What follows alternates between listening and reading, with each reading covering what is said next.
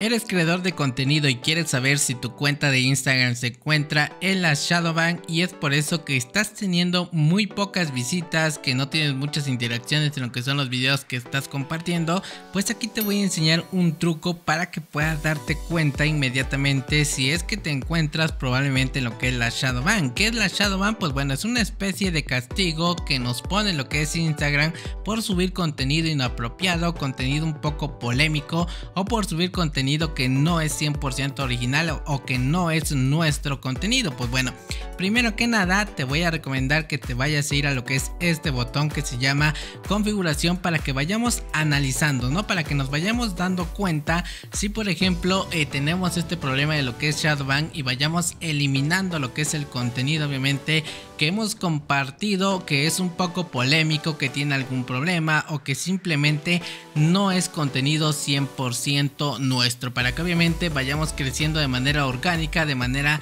normal se podría decir sin ninguna inversión y vayamos teniendo la recomendación de lo que es Instagram. Así es que bueno, primero nos vamos a lo que es el botón de configuración, buscaremos este apartado que nos interesa en donde dice cuenta. Aquí nos vamos a meter en lo que es este apartado que se llama cuenta, lo tocamos obviamente. Y aquí nos van a aparecer varias opciones que obviamente también vamos a elegir lo que es esta que es la importante que se llama estado de la cuenta. Si por ejemplo aquí ya te metiste y tienes como nosotros que son palomitas verde significa que Instagram te está recomendando obviamente que no tienes ningún problema. Si por aquí ya te apareció una X te metiste y te dice que has incumplido en las normas que han compartido contenido no original que has compartido contenido polémico obviamente o que en tus comentarios porque Instagram también créeme que se fija mucho en los comentarios, en los mensajes y probablemente si estás incumpliendo estas normas te haya limitado la exposición y la recomendación. Aquí como te puedes dar cuenta nosotros nos dice que nos está recomendando.